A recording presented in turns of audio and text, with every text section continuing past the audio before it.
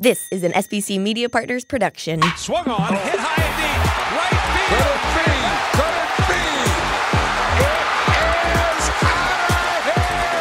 Phillies fans, these are your glove stories with Murph. Check in with Greg Murphy. Murphy, got a special guest, huh? Hi, everyone, and welcome to another edition of Glove Stories with Murph. Great to have you here with us. Brought to you by the great folks at Bet Parks Casino Sportsbook app, the Shibe Vintage Sports, and Phillies Nation. Thank them for their support, and we are really excited about our guest today. Uh, many of you know his best friend, much maybe much better than you know the man himself. But uh, we are welcoming in Tom Burgoyne, the best friend of the Phillie Phanatic, and uh, and you've been close to the big green guy, Tom, for almost what yeah, five years been, at this point, I think. five, it's been a little bit more than five years, Murph. Oh, 35. You know, it's, 35. Yeah, 35. Yeah, yeah. It's crazy how time flies, Murph. We're having a ball. It's great. Yeah, you get a chance to hang out uh, every single day. And uh, I, I, know that relationship two of you is uh, is very close. But let's go back to, uh, to the early days of Tom Burgoyne, uh, um, St. Joe's Prep High School student, probably causing all kinds of havoc in school. Were you, were you a rebel rouser in, in high school? Ah, rebel rouser. How about that? That's I haven't heard that term in a while, Murph. I usually throw out just class clown, you know, okay. class clown. Right. But uh, yeah, little, you know, I used to have fun. I was uh, the energetic kid. I, Murph, I was also the kid just lived and died Philly sports. You know, I just uh, couldn't get enough of it. So that was my combination. You know, it's uh, a little bit of class clown and just a diehard Philly sports fan. Yeah, and then off to Drexel, uh, so staying here in Philadelphia. You know, Philly, this city, uh, for those of us that grew up here uh, and and have stayed here and been lucky enough to, to have our careers here, uh, it gets in your blood. It, it, becomes part of what you are. And it, uh, on the flip side, you and your best friend have become part of the fabric of Philadelphia as well. That's got to be pretty special, right? Yeah, uh, it's mind blowing, Murph. I mean, if, if you would have told me, uh, you know, when I was a 10 year old kid that, you know, I'd be best friends with the Phanatic uh, all this time, it would just be uh, just, it's just a dream come true, really, you know? So, uh, you know, it's so cool when we have, you know, alumni days or guys passing through. It's like, man, we've gotten to know all these guys, all our heroes, the guys who we watched, uh, you know, growing up as kids. So, uh, you know, it's just been so much fun. I can't, I can't even describe it. Yeah. And, you know, I'm no different. I remember back in the day. Now, you met the Phanatic in 1989. And at that point, uh, he was hanging out with that guy, Dave Raymond. They were they were best of buds, but they uh, were the best friends. But, but then in 1993, uh, Dave had to, to go on his way. They're still tight. The Phillie Phanatic and Dave are still tight. But you uh, you became uh, the closest friend of the Phanatic at that point. But even for me, thinking back, you know, growing up and going to the vet in 1980 and 81 and 82, um, and thinking, I, I, I, remember, you know, the Phanatic doing his thing. The the one uh, the one bit I always remembered as a kid, like a I was probably 13 or 14 years old, and, and this one resonates with kids like that. There was a pregnant woman sitting in the seat, and, and the Phanatic went over and sat down and pushed his belly up. I, I must have laughed for about a week after that because, yeah. and, and, those kinds of, of uh, gags and, and, and pranks, he still pulls, right?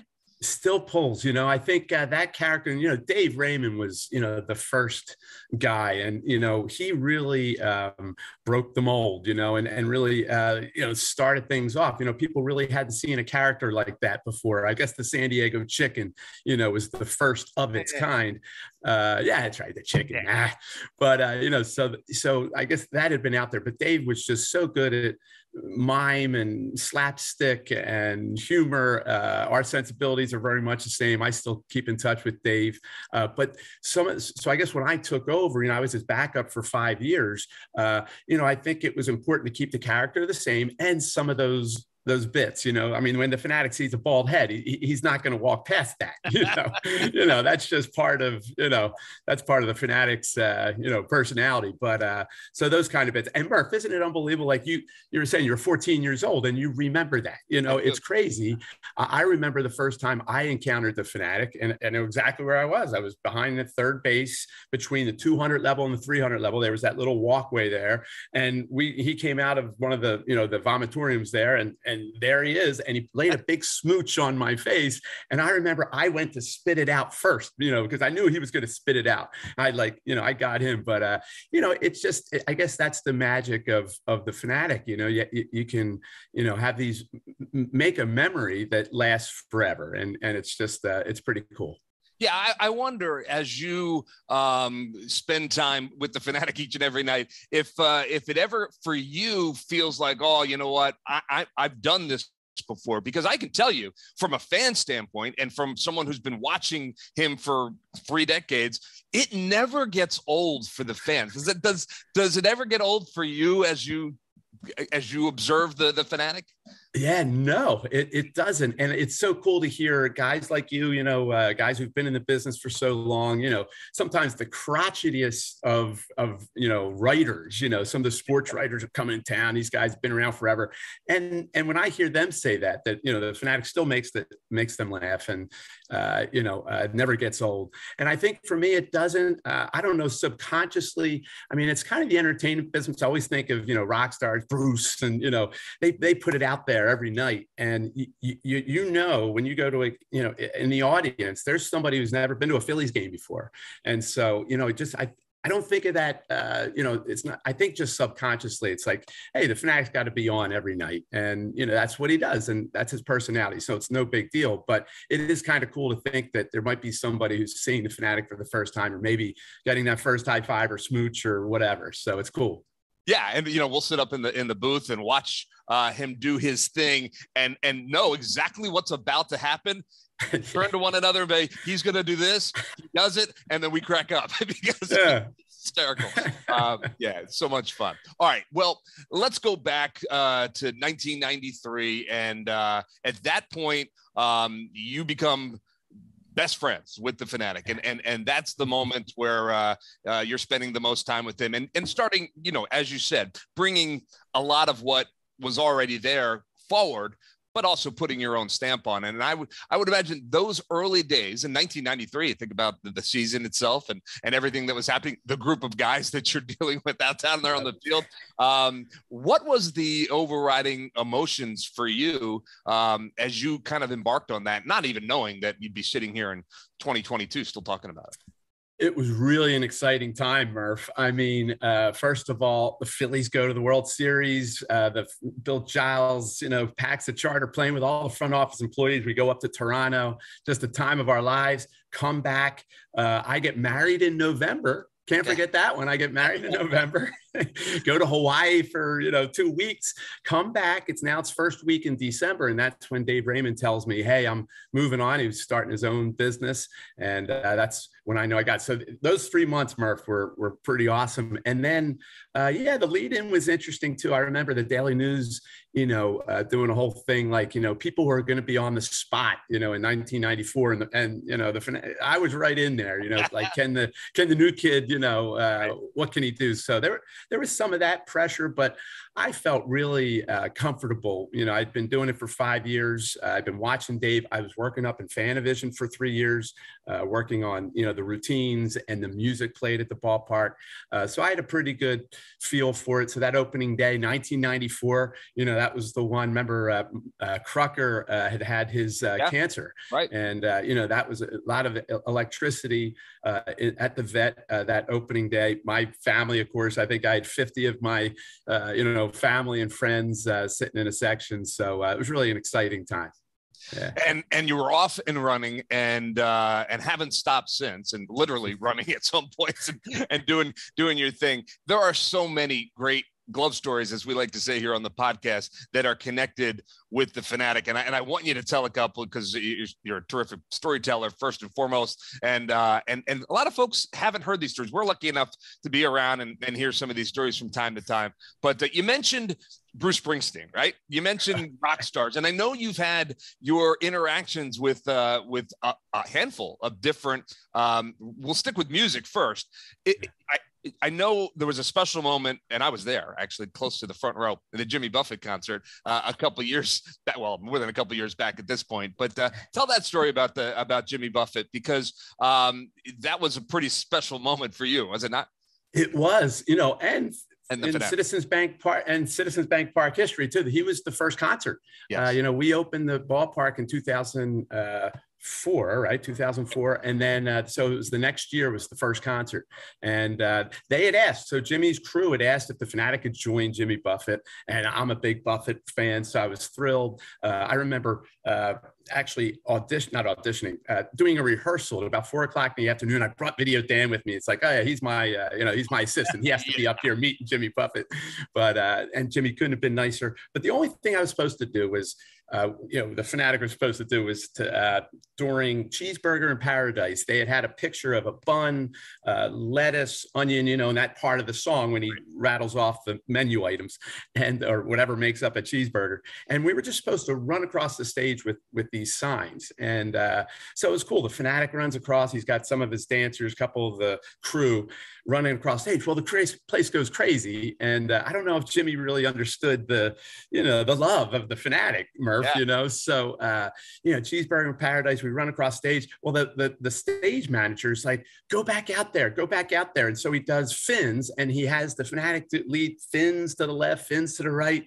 Murph, I mean, listen, it's great to do a, a Phillies game, 45,000 people. 40,000 people at a rock concert, everybody doing fins is pretty cool too. You know? Yeah. And your perspective looking out, you know, I've been, yeah. in, I'm in the crowd doing my fins, right? And, and, yeah. and that's pretty cool too. But I can't imagine what that perspective was looking out and seeing that. Yeah, it was cool. And then I come off the stage, crowd's still going crazy. They send me back out there, and it's a he does a cover of Van Morrison's "Brown Eyed Girl," yeah. and so so the Phanatic spent three was out there for three songs, and I came off stage, and they're like, "You got to come back tomorrow night." So I did this. We did the same exact thing, you know, the next night, and Buffett couldn't have been cooler. Like the last song, it was "Glory Days," and I'm standing. I, am now. I watched the whole concert from you know backstage. He comes total rock star. He comes off. He has somebody like take the headsets off him. He's barefoot. He get he slips into his flip flops, and uh, I said, "Thanks, you know, Jimmy. Thanks, man. This is the greatest day of my life." And uh, you know, he couldn't have been nicer. Yeah, it was great. Well, that's great to hear too, because I'm a huge fan of his. Uh, and and and there's so many more. I mean, we're, we're talking about the biggest stars in uh, on the planet, right? That you've had a right. chance to kind of, uh, the Phanatic has had a chance to be up on stage with. Yeah, you know when it started, it actually started uh, the vet. It was the first time Elton John and Billy Joel played together, and I didn't think of. You know, I'm in a box and I'm watching the show, and somebody was with me. He's like, "You should put well, you should have the Phanatic, you know, go down there and just show up. And it hadn't crossed my mind. I can't believe it. I, I, I felt like, you know, I, I should have thought of that first, you know, yeah. but uh, the bug was in my ear. I'm like, ah, you know, let's get the Phanatic in there. So I remember going down, have the Phanatic front row. Billy Joel is singing "The Bitch Is Back." It was it was the point of this the the concert when they were singing each other's songs. Okay. And Billy Joel looks down. He gets up from his piano. He grabs the microphone and he's got the microphone in the Phanatic snout and he's singing into the snout. You know. So great. So uh, so from that point on, every time I go to a concert, it's like, hey, you know, maybe we could have the Phanatic jump on stage. Yeah, absolutely. so, but it does. But Murph, you did mention Bruce. That's when it, it didn't quite yes. work out. Yeah, yeah. Tell me, can you tell me a little bit about that? Bruce had done uh, a concert uh, series at the um, at the Wells Fargo Center, but one of the games got, uh, or one of the games, one of the concerts got canceled uh, because of weather. So he came back and did a one night only at the Spectrum in 1999 in September. And uh, the Phanatic does his fifth inning routine. The Phillies are playing across the street at the vet. And uh, the Phanatic, after his fifth inning routines on his ATV, he goes right up the truck ramp and right across the street to the Spectrum. Uninvited? uninvited. Uh, and uh, you know, of course, the security guards are, are there and, you know, at the gates there. And they're like, hey, it's the Phanatic. Come on in, Phanatic. Like, there was no issue there. I, you know, the Phanatic got into the spectrum like that. And literally within a minute, Phanatic had gone down the steps over a couple speakers and was in the first row. And Phanatic's a big Bruce fan, Murph, you know, and and unfortunately, unfortunately, the song he was playing was Murder Incorporated, okay, which is yep. like a really heavy, heavy. deep, yep. Bruce is in his own mind kind of, you know, and he wasn't happy. He turned around, and from what we heard, gathered, we heard the next day, he was yelling at people to get him out of there. You know, he wanted the Phanatic out. So uh, somebody from the Spectrum came down and kind of escorted the Phanatic out. Of course, the Phanatic's high fiving everybody, you know, on the way out of the concert. oh my god! but yeah. I, to this to this day, I always thought if he was playing Glory Days or one of these upbeat things, he probably would have brought the Phanatic right up, you know, like Courteney Cox, you know. But yep, uh, yep. Not to yep. be. Not, not, to, be. to be. You are not Courteney Cox. the Phanatic is not Courteney Cox. Uh, that's hysterical. That that really is. Um, it, I would imagine uh, getting a chance to to hang out with the Phanatic uh, like you do. Some of the experiences that you've had um, I know you've traveled the, the world with him.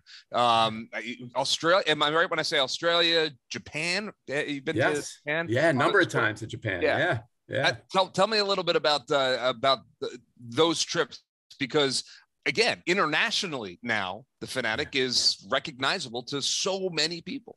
Yeah, and one of the ways that came about was uh, back uh, after I had just kind of taken over from Dave. Uh, Major League Baseball got very active with their international um, offices, and they have some offices all over the world.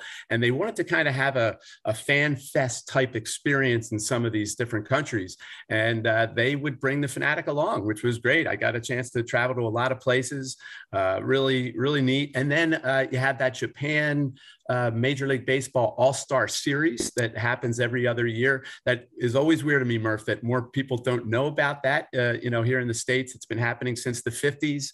You know, players like Mickey Mantle and Hank Aaron, you know, used to go there every other year. Uh, so it's a really big deal in Japan. And Major League Baseball always brings their A list uh, stars. And uh, so I got a chance to go on a few of those, uh, which is great. You know, just hanging out with the the big leaguers. They really roll out the red carpet for those guys when we're over there. Uh, but it does amaze me, you know, uh, you know that that people do really recognize the Phanatic, especially in Japan. They're they're such baseball fans. My only regret was I wanted to bring the hot dog launcher and fill it with sushi, and uh, it never it was my one regret, Murph. I wanted to shoot raw fish at the Tokyo Dome. Oh, it never would, came right? to be. but I, I, do remember that first time in the Tokyo Dome, you know, and, and I had an, an interpreter uh, and my brother was with me, which was great. We had a ball in Japan. And, uh, but uh, going into the crowd was very, very unusual. They, they're, they're it's it's weird. You've seen Japanese baseball. The outfield is they've got the bands playing and the people are making noise the infield area, it's all very staid and very calm. And here comes the Phanatic into the crowd, which their mascots don't do. They have mascots, they stay on the field. After a home run, the mascot runs out and kind of high fives the player and they throw a, a, a doll into the crowd. That's what they do. They don't go into the crowd. And I remember with the Phanatic and uh, they had security come and take the Phanatic uh, out. And so we had, of course we had to have a meeting and the interpreter no this is what the Phanatic does you know?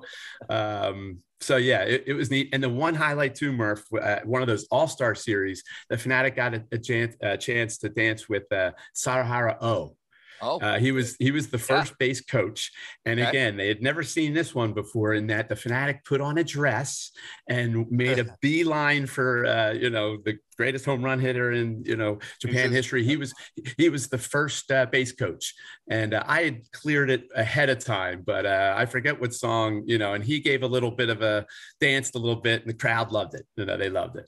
So it's so great. I can picture that. And you know what? I, on a side note, I, I think it's probably important to mention that no matter where you go in the world, Australia, Japan, uh, the other, I know you've been down to uh, Mexico and Puerto Rico.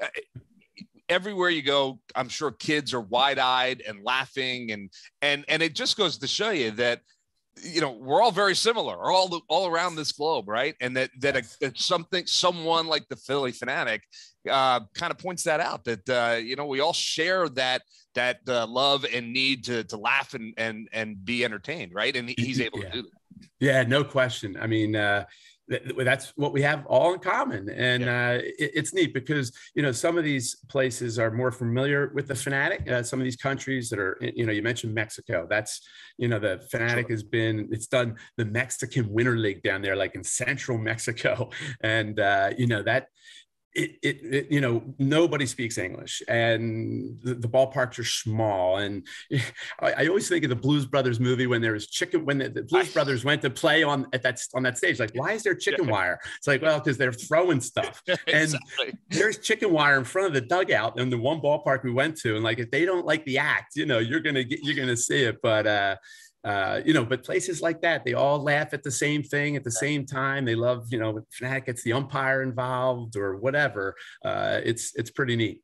Bald heads need polishing all over the world. exactly. There, exactly. there we, we, we know that. um, it, it's it's it's so cool for me to think about. Um, you know all the stuff that you've been able to do. Uh, but but back here in Philadelphia um, on a nightly basis you know, and you're, you're bringing it every night. It's it it's not always perfect. I mean, there have been moments where you where the Phanatic has been in situations that well put them in, in a little bit of peril, right? I mean, are there are there moments where you thought to yourself, "Oh my goodness, the, the Phanatics might be in trouble here"? well, let's see. In terms of doing some like stunts, like yeah. you know, uh, in in terms of being in trouble and getting hurt, uh, there have been some things we've done. I guess the, the, the craziest thing the Phanatic's done since I've been his friend is to rappel down from the top of the vet down to the dugout. Right. He's he did it three times, and uh, yeah, it, it, was a little. And we told the Phanatic, Phanatic, okay, hold on. First of all, you're going to be clocking about 35 miles an hour going down the, the wire, but also lift your legs because if you don't lift your your legs, you're going to twirl. Well, at the one time he didn't lift his legs and he came down, you know, doing one of these, and it was it was very death defying. But uh, the Phanatic, uh, well, he he was a little he was a little freaked out by that one. That might have been the last time he did it. yeah, the, the, Phanatic and his best friend might have said, "That's that's enough of that repelling." For the, that was at the vet. Is that what? That was at the vet. Yeah, yeah. Think about how high that was. yeah, yeah. My my brothers were up there actually. The first time I did it, my brothers came up because they knew it was, and so uh, they were like, "Good luck, Tom." And as we pushed, and it wasn't me, of course. It was a Phanatic who we, you know, sent sailing. But uh, yeah, no. So all right. Now, your buddy John Brazier told me another story about. Uh, now, often the Phanatic will catch the first pitch um, and uh, go down on the field and get his picture taken with the folks that are throwing them out. And uh, from time to time, things don't always go the way you plan. Uh, can you tell the story about the young girl that uh, was a little reluctant to throw at first? Murph, it was it was like one of the first games that I worked. Okay, so it was uh, we had opening day in 1994. This might have been like the next night game, wow. and uh, they and it was just funny because ah now they, they used to throw the ball out from the mayor's box, which was right next to the dug Phillies dugout, and uh, they actually had to bring a, a, band member, this little girl, she's probably about 12 years old, over to uh, the mayor's box. She has her you know, marching outfit on, and uh, I think she was a clarinet player. And uh, anyway, she throws the ball out, and I'm, ah, this is here we go. And uh, I took one right in the eye. Yeah, took it, took it right in the eye. and, and, and when when the Phanatic takes one in the eye, I mean, he gets affected. Yeah. I mean, yeah, he's only yeah. human, it, right? It, it, staggered me a little bit, and uh, I just felt like such a loser. You know, just like you know, all I got to do is catch this. You know, this, and I'm fired up. You know, it's one of the first times. But when we talk about injuries, Murph, and I, and I don't, I don't know if I've told you this one, uh, and maybe the fans know it, but you know, he, the Phanatic got hit in Lehigh Valley. Oh, I remember. And, yeah. yeah, yeah, yeah, and uh, you know, he's he's three rows behind the, the dugout and a, a, foul ball hits the dugout and hits the Phanatic right in the neck which amazingly somehow i wind up with the shiner you know you know that's how close we are murph. Yes i know I'll never forget, uh, you know, the Phanatic comes staggering. Everybody's laughing because they think it's part of the act. and, you know, and so I get out to the aisle where the woman, the Phanatic goes out to the aisle, and the woman who's supposed to be taking care of the Phanatic, uh, you know, learns that the Phanatic is hurt and they've got to get him out of there. And so she she goes on a walkie-talkie and she calls the EMT. Well, we go up the steps and the Phanatic, of course, there's 50 people sure. waiting for on the concourse waiting for pictures. Meanwhile, the Phanatic is staggering. You know, he's not feeling great. Here come the EMT. It's like, oh, finally, you know, I'm, you know, going to get some help here. And the EMT guys pull out their cell phones and they want pictures with the Phanatic. You know, it's like, no, no, he needs to go to a hospital. You know, yeah. he doesn't care about your, job. All right, yeah, my yeah. job's over tonight. yeah, I, so, I, remember that. I remember when that happened. Uh, when they put the nets up. Uh, that yeah. was one of the things I thought about. I'm like, all right, all right, the Phanatic is safe now. The Phanatic is safe on the dugout. That's good. um, all right, let me throw out a couple of names and uh, tell me what you think about when you hear these names. Because again, um, in doing my research, your, your buddy uh, helped me out. Uh, Bruce Bochy. but you have been talking to Brazier. It's his favorite thing. It's oh, his I favorite thing. Too, so.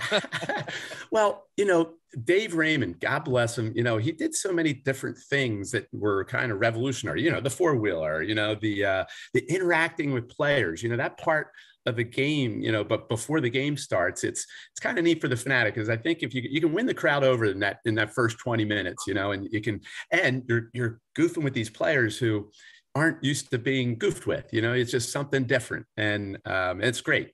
Uh, and so he he really started that, and so you know the Phanatic, you know, it's continued to do that. And part of it is to kind of go through the lineups. And if you remember, Murph, you know, like back in the day, our guys really had uh, stances that were very um, unique to them. So, you know, Schmidt had the butt wiggle. You had Pete Rose in the crouch. You had, you know, Gary Maddox with, you know, the long stride stretch. Uh, you had the bull just standing there.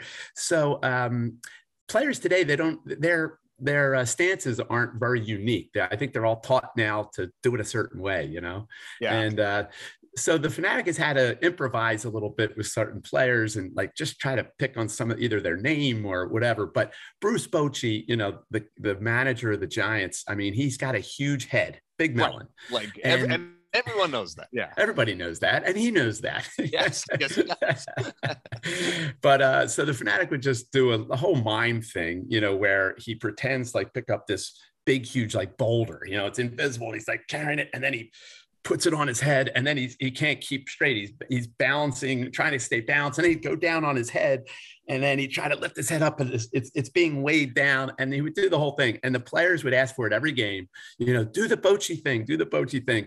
And Bochy would always be standing there right at the steps, you know, kind of smiling, you know, yeah. and uh, good, easy, and, good one. So, but not, not, everybody loves what the Phanatic does, right? No, I mean, no. had you've had your run-ins as well. I mean, run-ins. Yeah, famously, um, and, yeah. and, I'm right when I say um, the Tommy Lasorda run-in was before uh, you became his best friend, but you've had yeah. your own share of run-ins with those guys, right? Absolutely, and with Lasorda, you know. And little known fact here, and Dave Raymond told me this. I did not know. He went to Japan once, and this is where he says it all started. There was a box of baseballs uh, in the clubhouse that all the all stars were supposed to sign, and they asked for the Phanatic to sign the balls as well. And so he signed it on the sweet spot, and apparently that's that's where the manager is supposed to yeah. sign. And Tommy Lasorda was the manager at the time of that all star uh, team in Japan.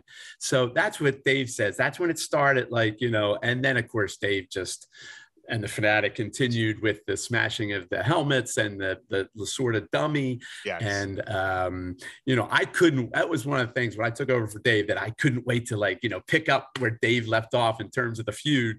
And uh, i'll never forget that first game there in town. Tony the old italian um, uh, security guard uh, of course him and tommy were like this. Yeah. And as the Phanatic comes out Tony has Lasorda out on the field, and Tony is going to make the peace. He's he's going to try to broker a little peace deal, like, "Hey, it's a new Phanatic. Let bygones be bygones." I didn't come close to it. I'm like, I don't want any parts of this because I have a fifth inning routine that was going to totally tick Tommy off, and I didn't want any peace. This is oh this oh is God. great, you know, material, you know. So great. so we had a, we had a guy in PhanaVision.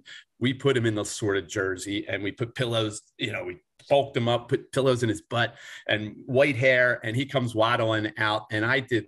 The Phanatic did some kind of, uh, you know, I forget how we abused him, but Lasorda from just you know throwing baseballs and every curse word in the book. You know, just not a fan. No, he, and he never was. Right? Never was. Never no. was. And that, no. you know what? Shame on him because exactly he should have found some humor in all yeah. of it.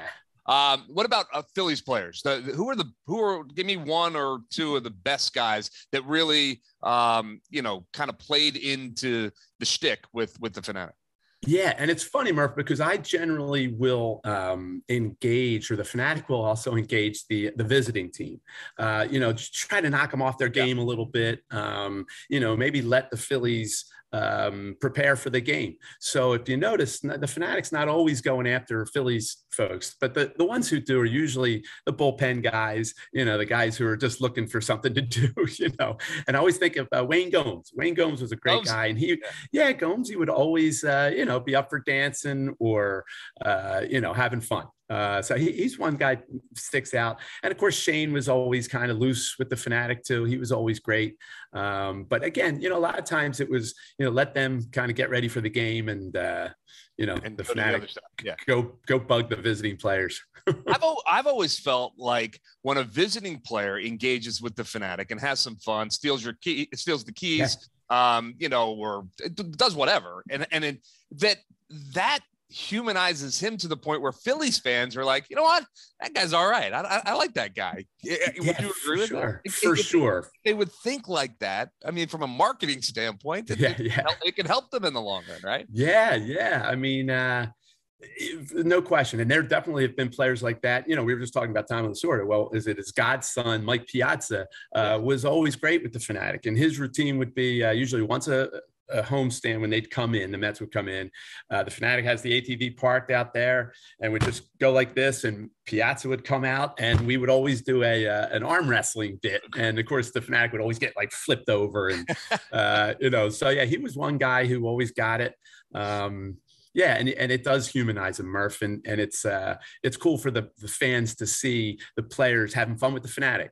Um, and, and, I guess you know the, the number one guy now is uh, Bryce Harper. You yeah. know, um, you know Harp. You know he uh, always loved the Phanatic. When he was with Washington, would always be watching the Phanatic. Uh, you know, enjoyed the Phanatic. I remember seeing him during the All Star game. He made a point to come over to the Phanatic, and you know, you're you're great. Like he would always do that. It's like, wow, Harper's cool. You know, the Phanatic always thought Harper was cool. And then when he got you know, signed with the Phillies.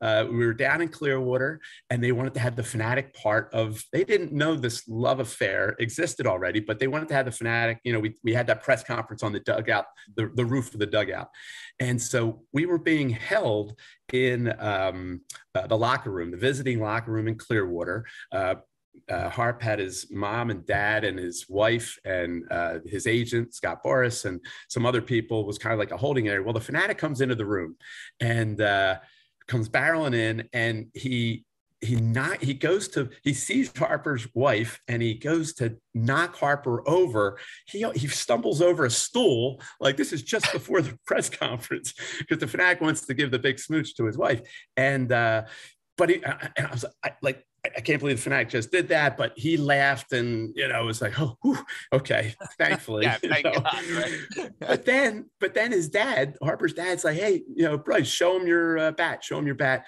and he's like, yeah, Phanatic, check it out, and he he shows me a picture of this beautiful art decorated bat that has the Phanatic all over it, and I'm like, wow, okay. And then from there on in, it was socks and shoes and, you know, total Phanatic fan, you know? Yeah. And, and he is, I mean, he is, yeah. you know, we, we're lucky enough to, to know Bryce a little bit and it's not an act. I mean, he, he no. genuinely enjoys it. I mean, seriously, like 98% of the people on this planet genuinely enjoy the Phanatic. So it doesn't, doesn't make him special, but he gets it. And, and I think, yeah, yeah. I think that's kind of cool. Um, all right. Uh, we're running out of time. I don't want to keep you too much longer. Uh, but let me ask you this because one of the things that I marvel at is uh, the physicality of, of the Phillie Phanatic. I mean, he doesn't look like an athlete, but man, oh man, some of the stuff that he does on a nightly basis, um, you know, it's, it's a mix between the, you know, parkour and and gymnastics and you know I, watched him walk on the back of the seats and I'm, I'm always like oh my god he's gonna fall the the amount of energy and the on an August afternoon that the Phanatic expends out there on the field is is enormous. Um, how how does he do it? I mean, how are how are you able to help him do that? well, you got to have a screw loose, Murph. well, that know, that's, that's, that's number one.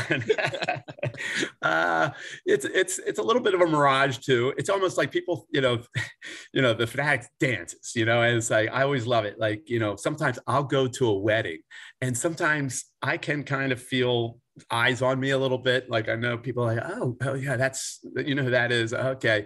And like when I go on the dance floor, I think people are expecting like Deney Terrio or something, you know, like they're expecting, and I and then they look and like, oh, like that that can't be the Phanatic like you know so uh, i think that the costume hides a lot of, of sure. flaws when it comes to that and then yeah the physicality of it too um, you know, uh, and the energy. I think it's important too. Uh, the Phanatic takes breaks through the game. Like you can't really keep that up for nine innings, you know. Right. So it's um, and the Phanatic has visits to make, and it's just uh, it's all kind of timed out to some degree. But the key is that you know if if you've taken a break and you can get back out there and uh, you, you, you can lay it all out there and, and have that energy, you know. Uh, that, that's a big part of it. And yeah, the rest is just stupidity, Murph. You know? well, perhaps some, but uh, but but it sure is fun to watch. Um, it's always fun to watch people doing stupid things, right? Uh, before before I let you go, I, I I'll mention this just because you brought up the dancing, um, and you and I have talked about this before. But uh, back in 1993, when you were becoming the best friend of the Phanatic, they were looking for a, uh, a you know a another friend of the Phanatic to fill that second role that you had filled, and uh, and, and there was this young aspiring Phanatic uh, friend right here that tried out and and yes, you talk did. about the dancing yeah you can dance because the the the tryout, they brought us into the Eagles visiting locker room and they right. called my name. I'm 23 years old, just out of St. Joe's. And, and there's a table of, of panelists with a boom box in the middle of the table and they yep. pressed the button and said dance. And I started, you know, like like Wade Bennis, I guess, or whatever. And uh, and well, you know, those dreams were, were crushed just like that. So you must have once once we saw your dance moves, Murph, you were uh, you were eliminated. I made it through the first couple of interviews, but then after the dance moves, it took yeah. me uh, took me 20 years to get back to the organization. So, uh, but I think it was for the best.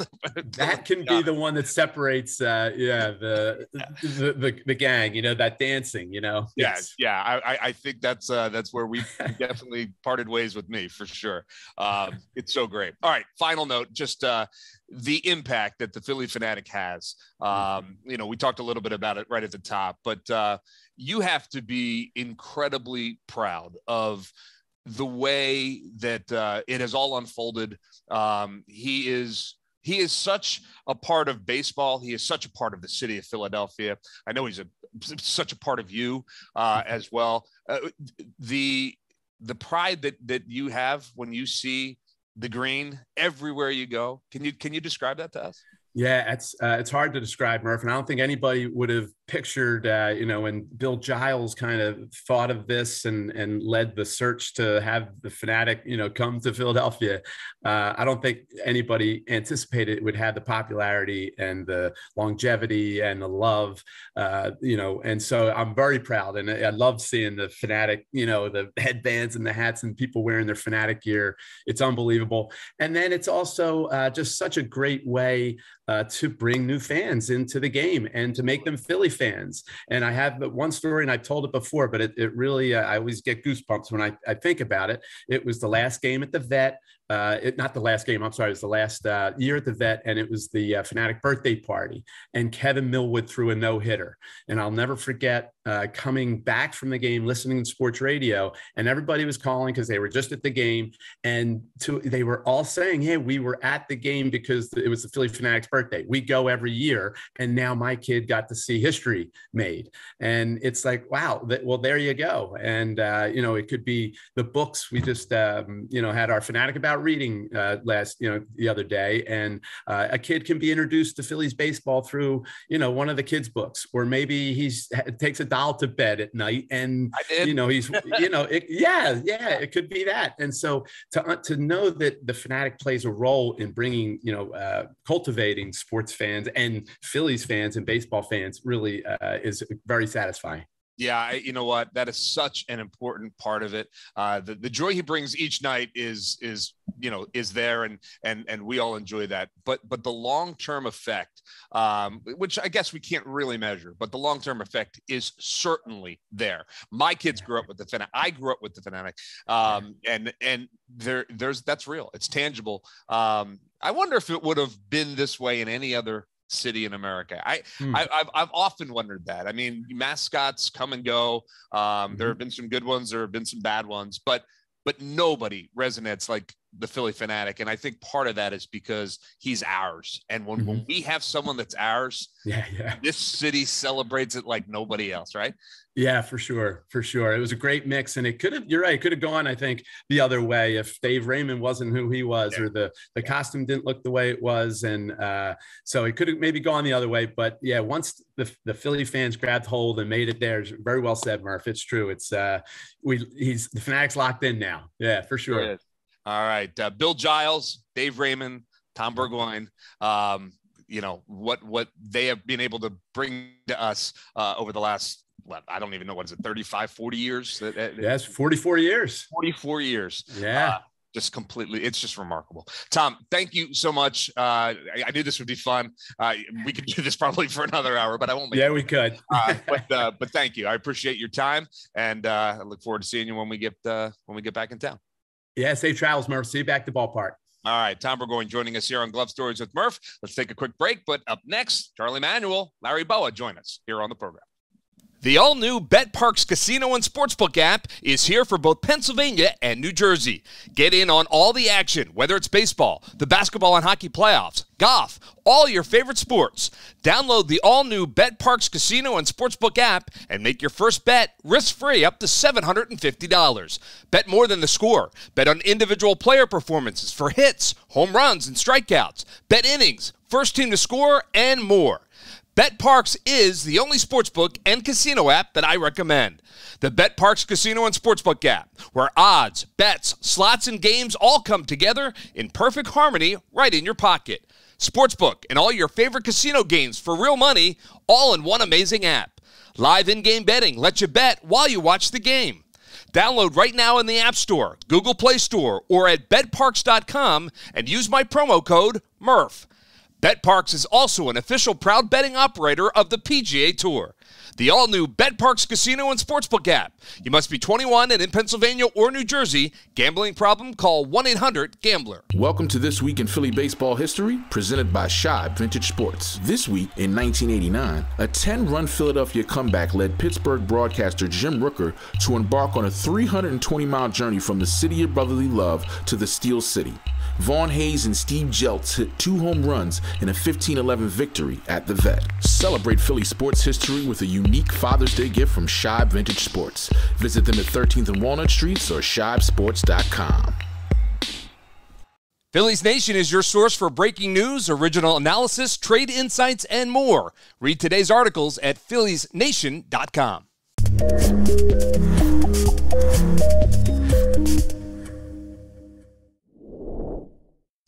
And welcome back to Glove Stories, brought to you by the BetParx Casino and Sportsbook app, Shibe Vintage Sports, and Phillies Nation. And it is the time on the program where we welcome in our Phillies Wall of Famers. Larry Bowa, Charlie Manuel are here.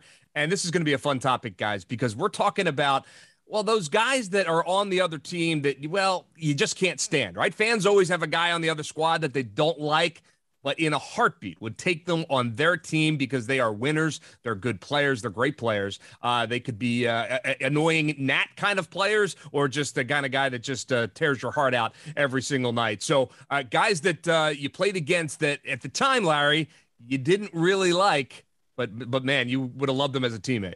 Well, the one guy I hated him as it, not. Well, I don't mean literally, but yeah, when, I know. When, when I saw that uniform, Pete Rose. He would do everything in his power to beat you. He could beat you with his glove. He could beat you with running the bases the right way, obviously swinging the bat. And eventually, the guy that we didn't like, he became a Philly. And when you're looking across the dugout and you see him, and you say, "Oh God, he's coming up in the eighth inning." You know, this is the guy you don't want to see hit. But then to have him on our side, and th- that those were the same ideas and everything that other teams. When he came became a Philly, they used to say we used to hate Pete Rose, and everybody guys it seems like Murph that knew how to win, that would do anything at all to beat you. Those are the guys you really respect, but obviously you'd like them on your team. We were lucky to get Pete at the end, which put us over the hump. But I had to watch him in Cincinnati for a long time, and he tore our hearts out. Believe me. Yeah, I know. I you know you you think back to that time period, and as a fan, uh, you know that big red machine. It was like they they couldn't do anything wrong, and Pete was the catalyst to all of that. So unbelievable. Stand in in Philadelphia, Charlie. What about you uh, in terms of uh, uh, guys that, uh, that across the aisle you just you couldn't you didn't want to see them, but you love to see them in your uniform.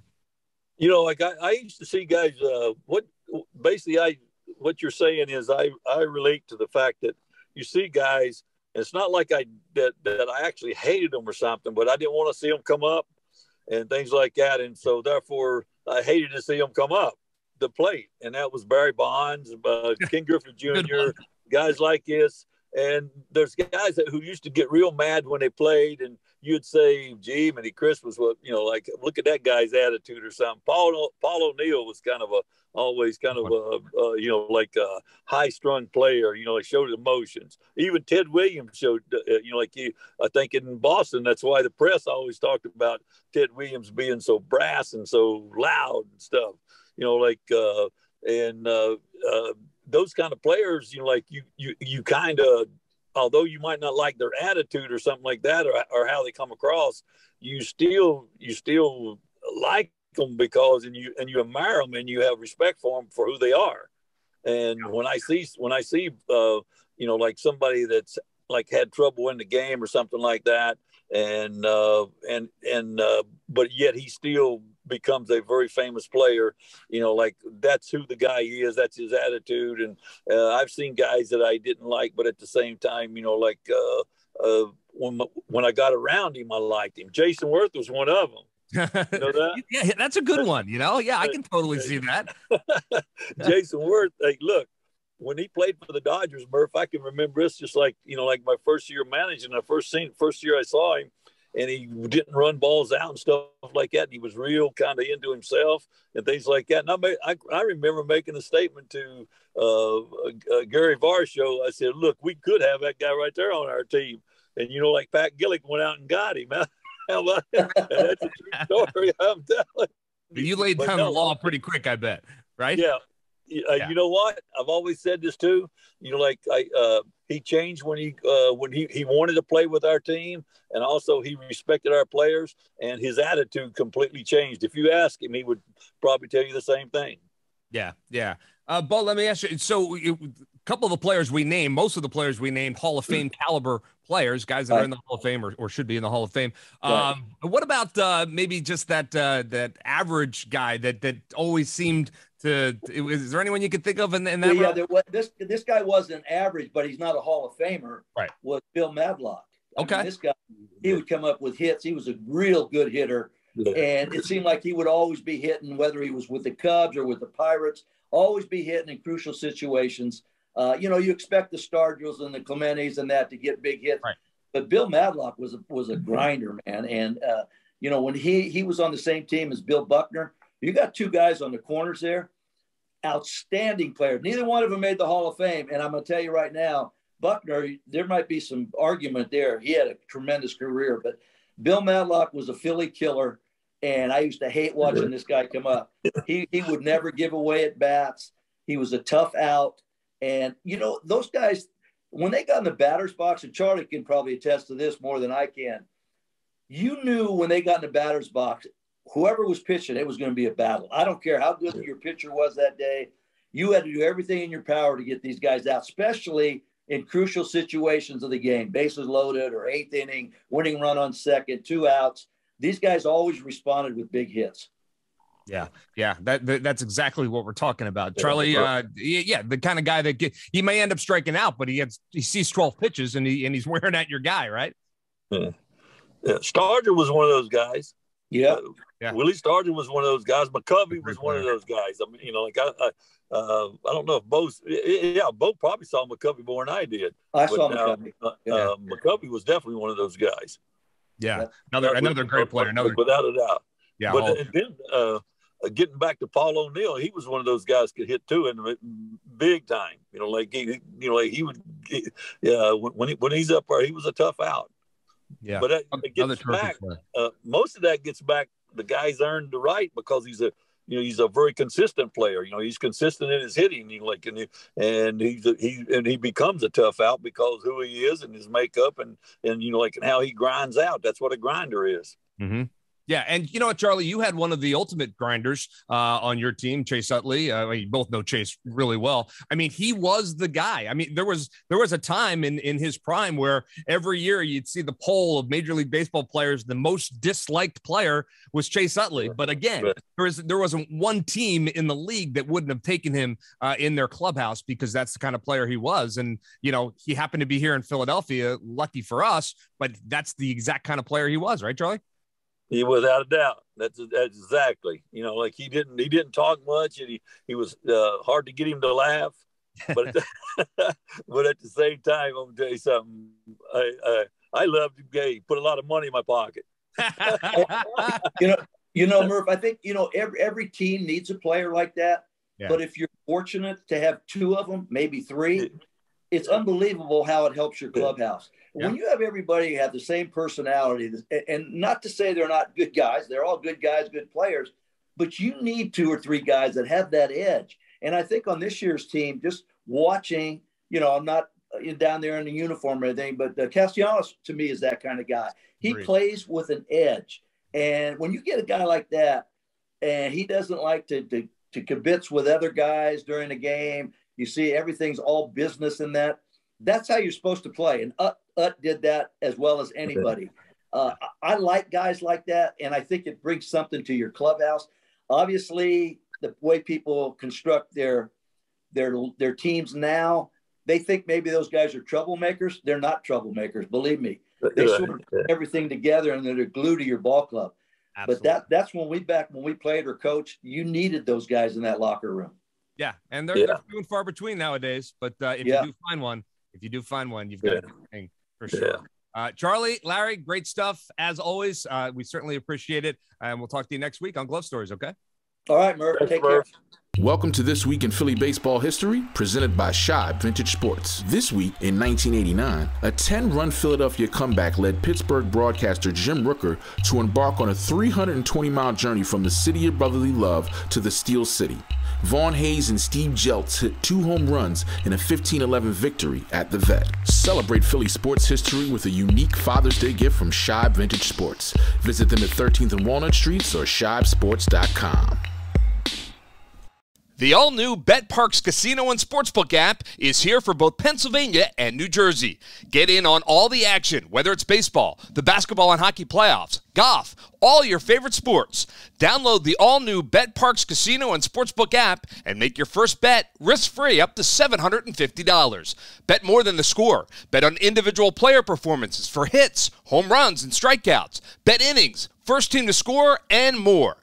BetParx is the only sportsbook and casino app that I recommend. The BetParx Casino and Sportsbook app, where odds, bets, slots, and games all come together in perfect harmony right in your pocket. Sportsbook and all your favorite casino games for real money, all in one amazing app. Live in game betting lets you bet while you watch the game. Download right now in the App Store, Google Play Store, or at betParx.com and use my promo code MURPH.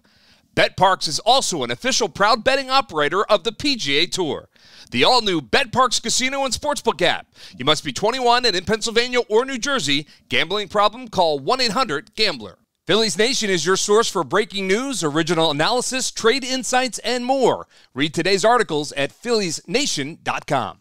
Glove Stories with Murph is sponsored by the BetParx Casino and Sportsbook app, along with Shibe Vintage Sports and Phillies Nation, and is a presentation of SBC Media Partners. The engineer for Glove Stories is Chad Evans. Cindy Webster is our marketing and guest relations director, and our executive producer is Roger Haddon. Whether you are watching us on YouTube or downloading the podcast from one of the major podcast providers like Apple, Google, or Spotify, make sure to hit like and subscribe.